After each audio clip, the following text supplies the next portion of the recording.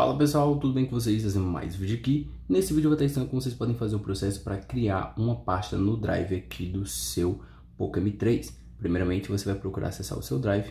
Vamos procurar aqui. Certo? No caso, o Poco M3, pelo que eu estou vendo, pessoal, ele não tem Drive. Então a gente vai vir aqui na nossa Play Store, vai clicar em pesquisar e vai procurar pelo Drive.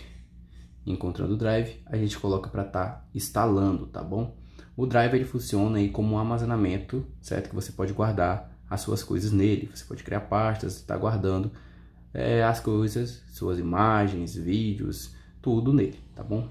Ó, baixamos ele aqui, vamos para a verificação de app. Terminou a verificação de app, a gente vai estar tá abrindo ele, certo? Ó, clicar em abrir.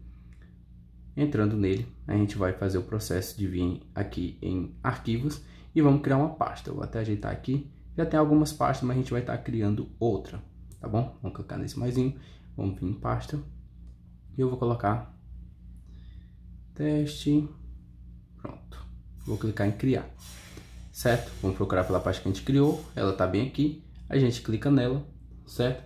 E pronto. Dessa forma você faz o processo para estar tá criando a pasta, é só você começar a jogar suas coisas aqui. Então é isso, eu vou deixar esse vídeo por aqui, não esquece de deixar aquele like pra estar tá dando aquela ajuda pra gente do canal, pra gente continuar trazer vídeos assim. Até a próxima, valeu e